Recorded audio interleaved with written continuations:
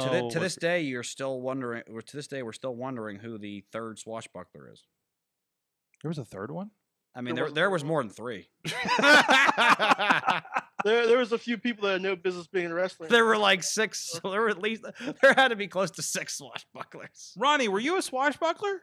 I was not. Okay. It, I- wasn't I pitch, wasn't refuse- pitched for you to be one once.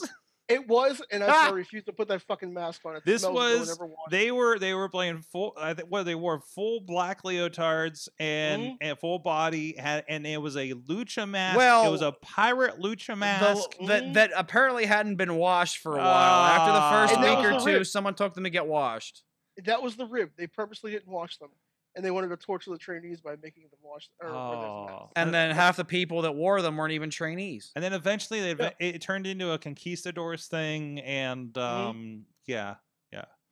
Okay, there was so there was in, a lot of bad ideas. in my head, I'm counting how many swashbucklers there were. there was six. there were six. There were no, there were at least five that I can think of just off the top of my head right now.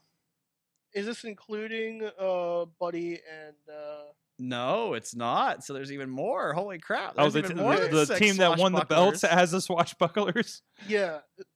So okay, so hold on. There had to be seven or eight then.